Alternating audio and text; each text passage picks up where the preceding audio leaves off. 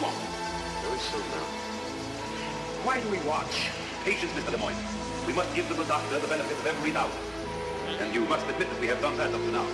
Yes, Mr. Lockhart. I must admit that. You see now, this is nine times a half a billion dollars, and, and this will make ten. It's still in its orbit, Mr. Arcot. For the moment. Miss Carrington, what is your opinion? I correlate observed data, Mr. Arcot. I make no predictions. But I make a prediction. All those men in that satellite will die, as have all the others. And when they do, your project comes to an end, Doctor. Is approaching critical area.